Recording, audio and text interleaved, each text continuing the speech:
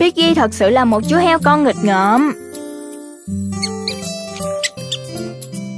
Piggy, Piggy, vâng papa Mở cửa toilet, không papa.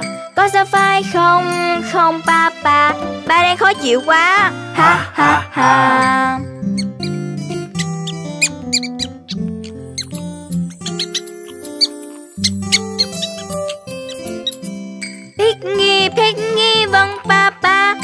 Cần đi thôi, không papa Tin Đức muốn xem, không papa Đưa ba remote. Ha ha ha